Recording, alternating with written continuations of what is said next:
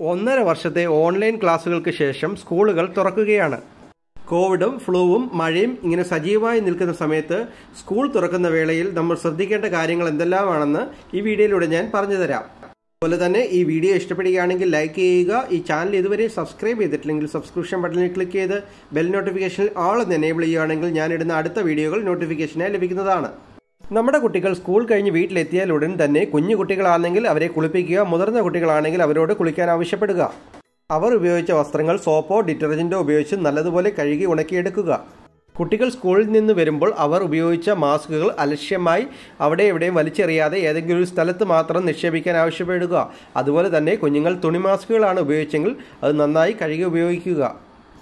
അതുപോലെ തന്നെ പ്രധാനപ്പെട്ട മറ്റൊരു കാര്യമാണ് കുഞ്ഞുങ്ങൾ സ്കൂളുകളിൽ കൊണ്ടുപോയ സ്കൂൾ ബാഗ് പേന ബോക്സ് തുടങ്ങിയെല്ലാം കഴിയുമെങ്കിൽ അണുവിമുക്തമാക്കുക. അതുപോലെ തന്നെ പ്രധാനപ്പെട്ട മറ്റൊരു കാര്യമാണ് നമ്മുടെ വീട്ടിൽ മുതിർന്ന ആളുകൾ അല്ലെങ്കിൽ കുഞ്ഞു കുട്ടികൾ അതുപോലെ രോഗമുള്ള ആളുകൾ അല്ലെങ്കിൽ ഏതെങ്കിലും കിടപ്പിലായ രോഗികൾ എന്നിവരാരെങ്കിലും ഉണ്ടെങ്കിൽ ഈ കുഞ്ഞുങ്ങൾ കുളിച്ചതിന് ശേഷം മാത്രമേ അവരെ അവരുടെ അടുക്കൽ വിടാവൂ.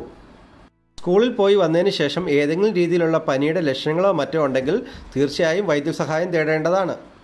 നിങ്ങൾ കേരളത്തിൽ നിന്നാണ് ഈ വീഡിയോ കാണുന്നതെങ്കിൽ ഏതെങ്കിലും സംശയങ്ങളുണ്ടെങ്കിൽ ദിശയുടെ ഹെൽപ്പ് ലൈൻ നമ്പറായ വൺ ഹൺഡ്രഡ് ആൻഡ് ഫോർ അല്ലെങ്കിൽ വൺ സീറോ ഫൈവ് സിക്സ് അല്ലെങ്കിൽ zero four seven one two five five two zero five six എന്ന നമ്പറിൽ കോൺടാക്ട് ചെയ്യാവുന്നതാണ്. വീഡിയോ സംബന്ധമായ എന്തെങ്കിലും സംശയങ്ങളുണ്ടെങ്കിൽ കമന്റ് ബോക്സിൽ ചോദിക്കാൻ മറക്കരുത്. Thank you for watching the video. Have a pleasant better today to all my friends stay safe stay healthy